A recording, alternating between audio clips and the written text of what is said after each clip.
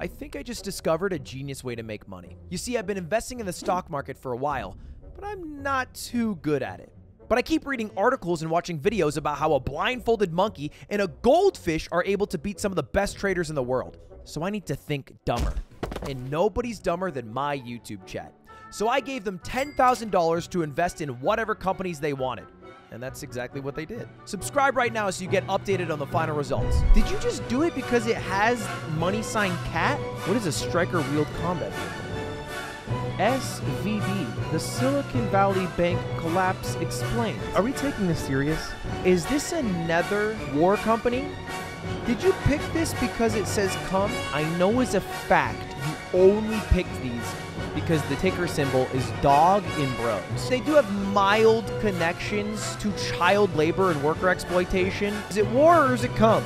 You guys aren't the most ethical investors.